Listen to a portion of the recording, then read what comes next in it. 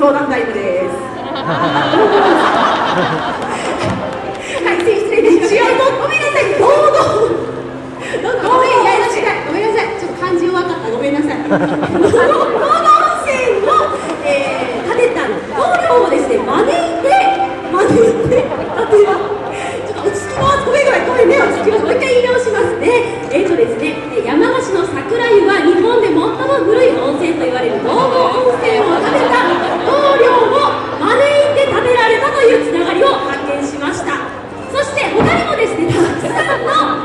you